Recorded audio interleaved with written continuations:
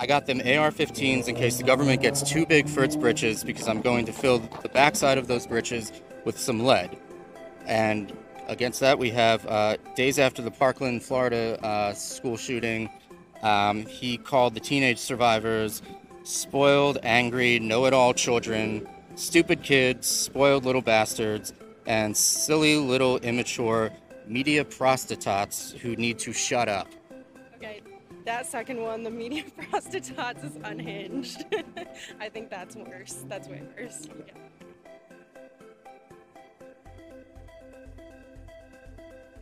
And uh, we've got uh, Karma for Abortion. He has blamed mass shootings in America not on guns, but karma uh, from having legalized abortion.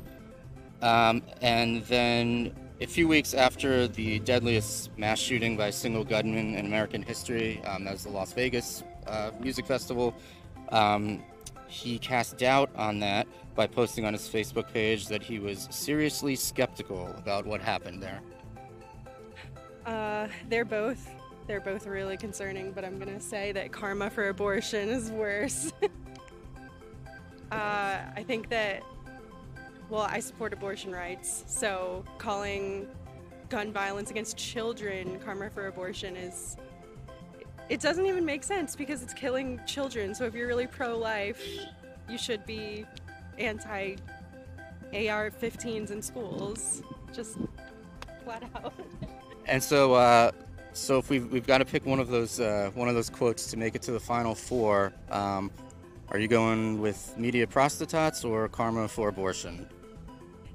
It's tough. Yeah.